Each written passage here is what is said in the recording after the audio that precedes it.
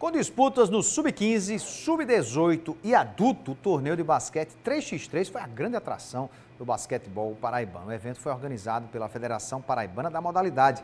Reuniu 42 equipes e 168 atletas de diversas categorias, fortalecendo a retomada do basquete paraibano. No Sub-15, o grande campeão foi o Motiva de Campina Grande.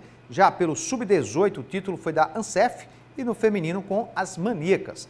No adulto, a Ansef também levou a melhor nos dois naipes.